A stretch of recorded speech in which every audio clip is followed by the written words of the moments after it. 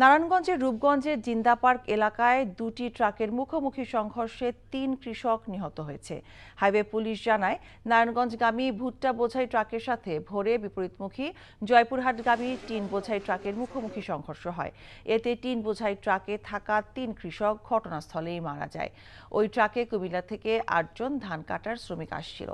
খবর পেয়ে fire service গিয়ে লাশগুলো উদ্ধার করে মর্গে পাঠায়। নিহতরা হল শহীদুল ইসলাম আয়েস ও আব্দুল মজিদ। अजीत फकर।